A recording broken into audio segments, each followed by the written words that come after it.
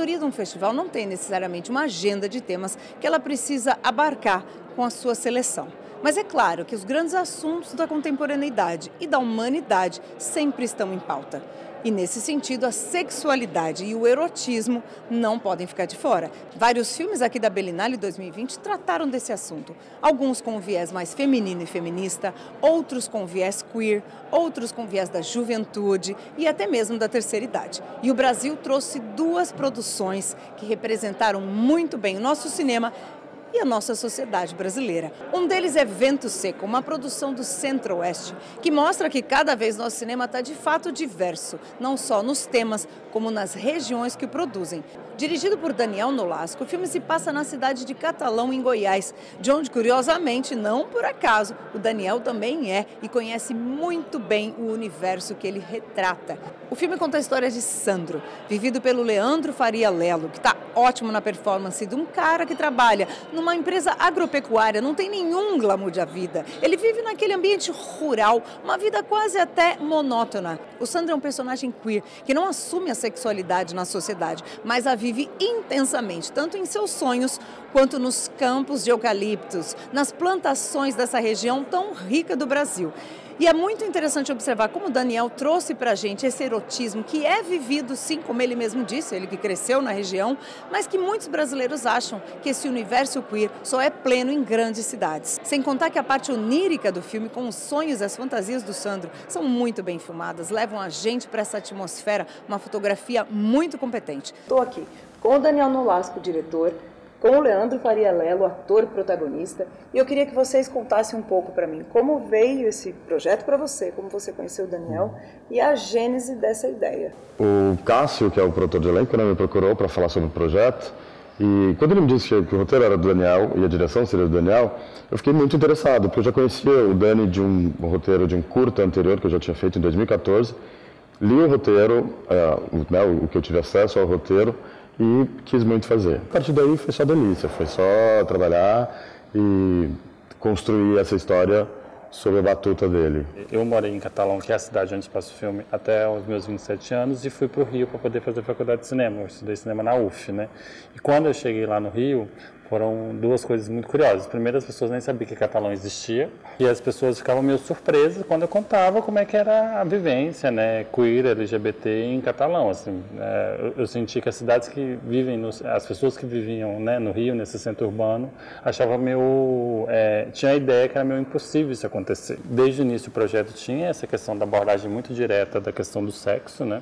Isso porque eu venho fazer um, um trabalho de pesquisa sobre as estéticas fetichistas, né? Principalmente de alguns é, é, atores e diretores da década de 70 e 80. Eu acho que nesses filmes tem um, um, um, certo pensamento de como filmar o sexo, né? Como filmar esse corpo gay, né? Como é filmar esse erotismo, né? Então, meio que essa inspiração está muito forte dentro do Vento Seco, né? Trazer o, o sexo para a atuação é sempre inovador, eu acho, né? Não é uma coisa que a gente faz com frequência, ou tem, tem papéis assim com frequência. Foi, é desafiador, é uma exposição grande, mas, é, por outro lado também, eu acho que é necessário, uma discussão necessária, e eu acho que principalmente, além da discussão, é uma visão necessária.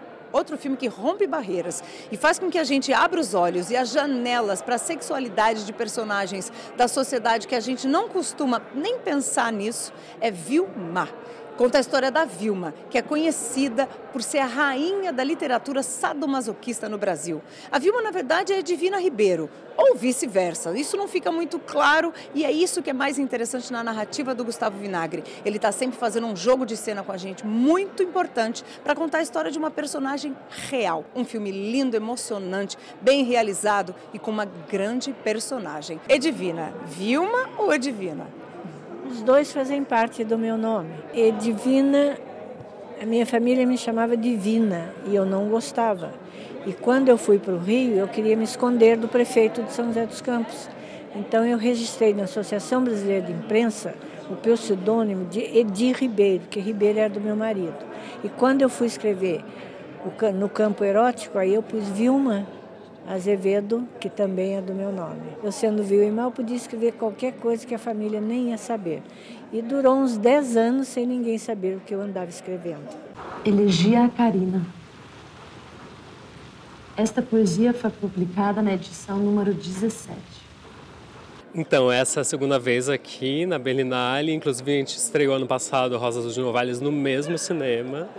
É, então, foi muito especial essa sessão agora. O público alemão sempre muito, muito caloroso. Eu conheci a Vilma numa sessão do meu primeiro curta-metragem, um filme para poeta cego que é um filme sobre o Glauco Matoso, que é um poeta cego, sadomasoquista, que eu amo, de São Paulo.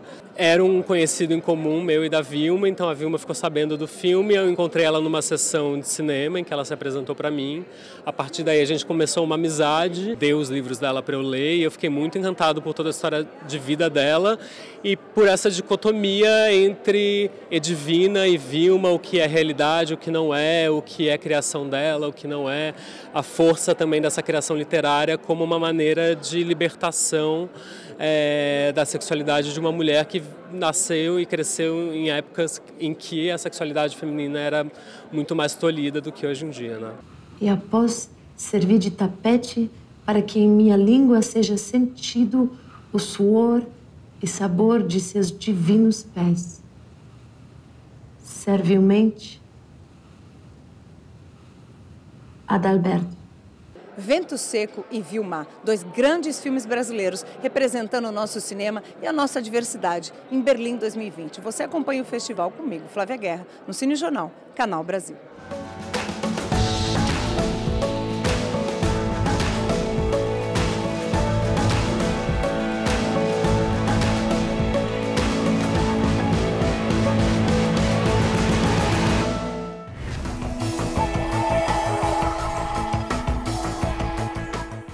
Olha aí os bem TVs do Canal Brasil em seu habitat natural.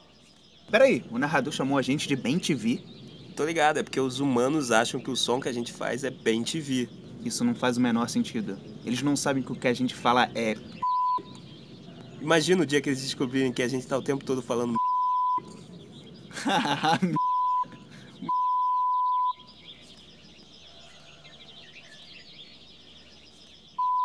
tá, chega.